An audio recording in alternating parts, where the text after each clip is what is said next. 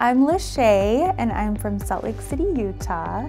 And I have been in dentistry going on my 15th year. So it's been such an amazing journey. I never thought I would get into the dental field, not in a million years.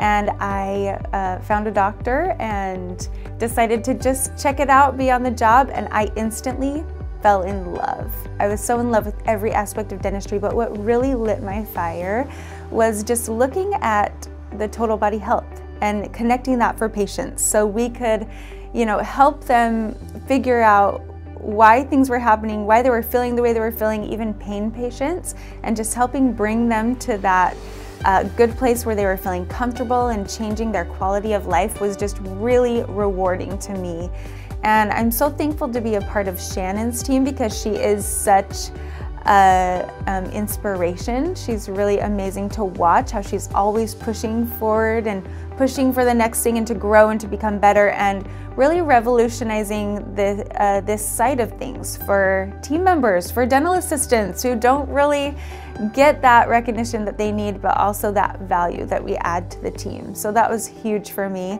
I'm so thankful for the opportunity. It has changed my career in so many ways um, and really just kept it exciting and amazing and new and I just love what we do and I just want to keep doing it as long as we can.